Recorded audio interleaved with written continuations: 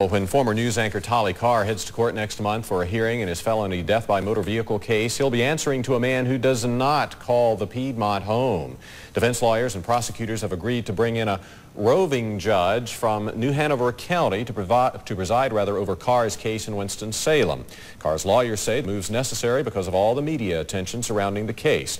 Most expect Carr to plead guilty during that hearing August 13th to all charges related to what police call the drunk driving death of Casey Bokhoven last March. Bokhoven was a pedestrian.